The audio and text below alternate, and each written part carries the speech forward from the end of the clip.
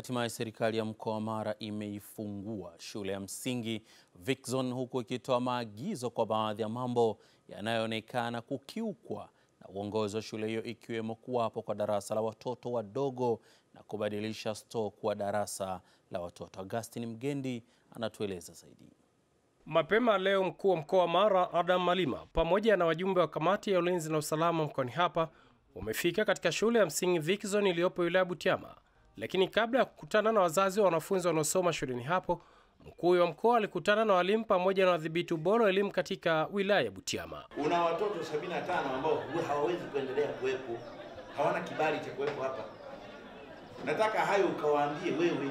Akiongea mbele ya wazazi waliofika shuleni hapo, mkuu wa mkoa wa Mara Adam Malima amewataka wazazi hao kuchukizwa na vitendo vya ubakaji vinavyohusishwa katika shule hiyo na kusema endapo wazazi watashindwa kuwalinda watoto wao, yeye kwa mamlaka aliyonayo atawalinda, na kuongeza kuwa watoto wanaotakiwa kusoma shuleni hapo ni kuanzia darasa la pili hadi la sita. Yule mtoto wakati amebakwa, mimi nilikuwa sipo, nilikuwa Geita, nilikuwa Dodoma kwenye vikao vya bajeti ya mkoa.